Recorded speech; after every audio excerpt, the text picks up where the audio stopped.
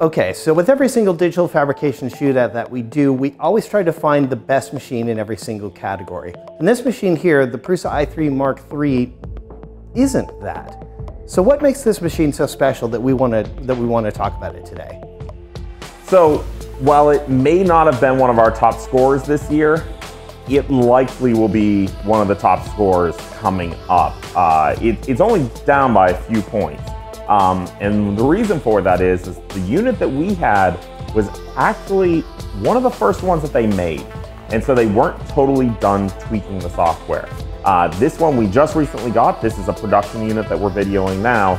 Uh, and we're gonna put it back through its paces and see how it actually turns out. But the Prusa team is still working on the firmware for it. This has a lot of really exciting features that are really pushing what the industry is going to be doing. Uh, Joe Prusa has been known and made his name by improving RepRap machines, and they really went a long ways on this one. Uh, that is really going to make people excited. Now you mentioned the software, and the software on this machine is really quite special, particularly the, not necessarily the software you use on your computer, but the software that lives inside the control board of this machine. Yeah, the firmware on the machine, I just got an update this morning because they're still working on it. But the firmware on this machine really brings in a lot of new features, especially around the new board that, they have running also and the new stepper drivers that they're using. Now what's unusual for most 3D printers is this machine actually doesn't have any end stops in it. Right. The new stepper drivers, the Trinamics, mean they don't need end stops.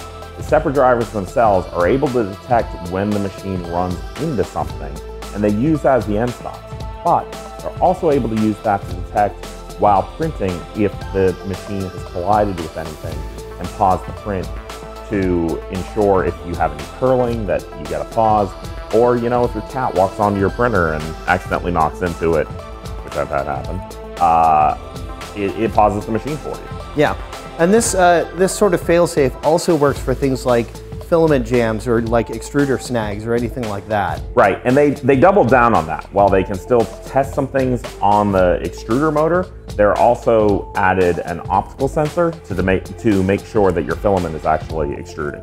One of our favorite things about the previous generation, the Mark II, was the print bed. Uh, the PEI sheet just kind of made sure that your prints pretty much always stuck. And they've done one better on, on the print bed for this machine. Right.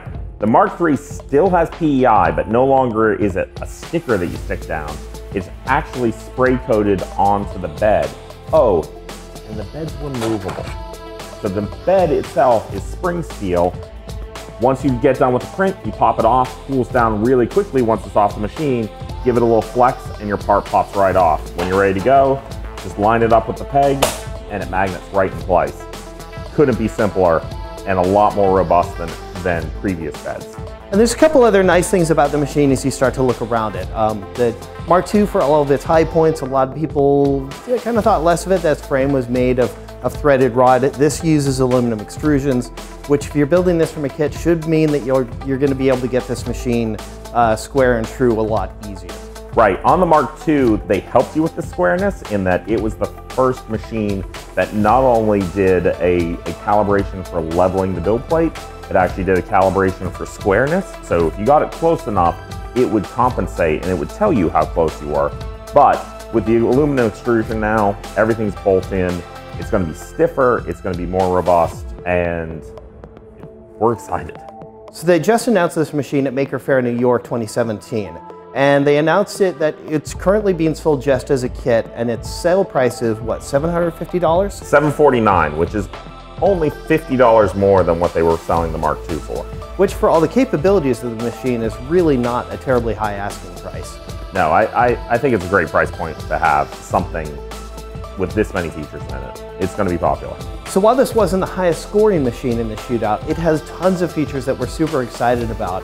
And while some of them are a little bit finicky right now, uh, as, they, as Prusa continue to develop the software, we're really excited to see how much more refined the machine will become yeah, that team is really dedicated. There's no doubt that everything will be sorted out when this machine starts to ship in November.